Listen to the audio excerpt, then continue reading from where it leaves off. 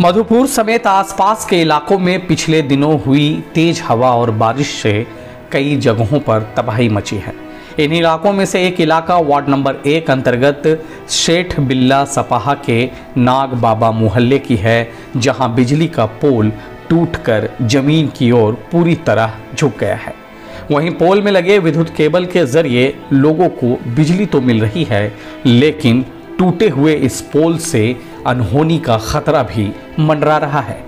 लोग डर रहे हैं कहीं इनके घर के बच्चे या फिर कोई सदस्य इसके चपेट में आकर अप्रिय घटना का शिकार ना हो जाए, क्योंकि ज़मीन से महज कुछ ही फीट पर टूटा पोल ज़मीन पर गिरे एक वृक्ष के सहारे है।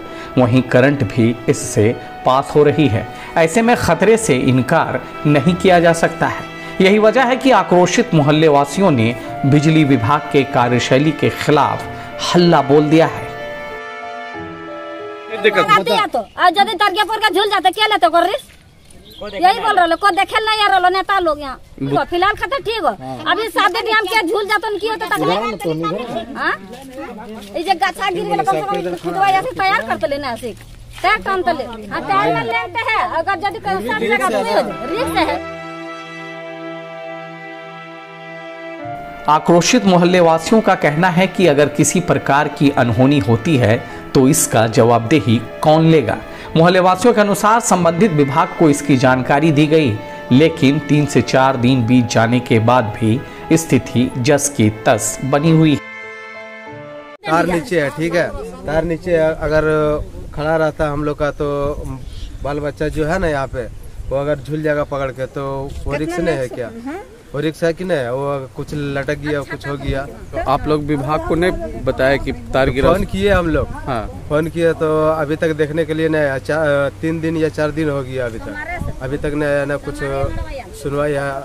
तो क्या करेंगे हम लोग बताइए। दिक्कत यही कि आंधी आया पोल गिर गया पूरा तार पूरा रोड में गिर गया था। उसके बाद तुरंत मतलब लाइन दे दिया इधर। को- कोई देखने भी नहीं आया बिजली विभाग वाला। तो हम लोग फ़ोन किया टिंकू भैया तो टिंकू भैया आया फिर बिजली विभाग में जैसा को फ़ोन किया। उसके बाद अभी तक ठीक नहीं हुआ है। अभी इसमें लाइन है। अच्छा। पर पोल गिरा हुआ है यहाँ पर तो देख लीजिए यहाँ पर खड़ा किया।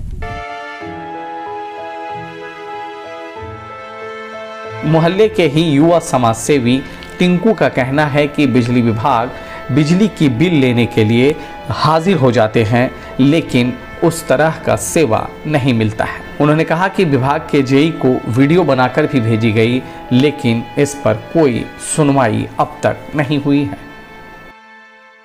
दिक्कत यह है कि आज चार दिन से जो है आंधी जो आया, उस टाइम जो है पोल गिर गया। पोल गिरने के बाद हमने सबको खबर किया, लेकिन कोई इसमें सुनवाई बिजली विभाग नहीं किया। जिसके कारण तार भी गिरा हुआ है, जो कि यहाँ साफ़ दिख रहा है, कभी भी कोई भी हादसा हो सकता है।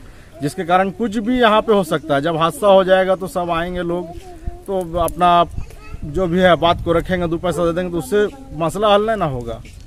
मेन है हम लोग का मुद्दा कि हम लोग का पोल यहाँ पे टूट गया, हम लोग पोल को जल्द से जल्द लगा दिया जाए। उसके बाद इधर लकड़ी के पोल पे ही जो है तार गया, जिसके कारण हमेशा गिरता है। तो उसको हम लोग किसी तरह ठीक करते हैं, लेकिन कभी इधर कोई झांकी मारने के लिए नहीं आता है। इसलिए बिजली विभाग से बोलेंगे कि जल्द से जल्द ही पोल को ठीक कर दिया जाए और उधर पोल लगा दिया जाए। महीना पुरता है, बिजली का बिल लेने के लिए हाजिर हो जाता है। तो हम लोग को वैसा आप दीजिएगा ना, सेवा देना पड़ेगा ना। कोई सेवा नहीं है, सिर्फ़ बिजली बिल लेने के लिए। एक तो बिजली का बिल भी आप लोग इतना महँगा कर दिए, गरीब आदमी कहाँ दे सकेगा? और उसके बाद ये समस्या, कोई सुविधा है ही नहीं। इसीलिए हम लोग बोलना चाहेंगे कि जल्द से जल्द इसका कार्रवाई जो है। जय साहब को हम लोग जो है वीडियो बना के हम जो है खुद से भेजे। हैं बना करके वीडियो भेजे उनको फ़ोन किए, बोले, ठीक है, सब तरफ़ पोल गिरा हुआ है, हम ध्यान देंगे। तो ध्यान चार दिन, पाँच दिन हो गया सर, अभी तक कोई ध्यान नहीं दिए तार में अगर कोई सट गया तो मर जाएगा यहाँ पे आदमी ना। बच्चा इतना इतना खेलते रहता है, कोई गया, लाइन इसमें चालू है, कोई जाके सट गया, कोई मर गया तो इसका जिम्मेवार कौन लेगा?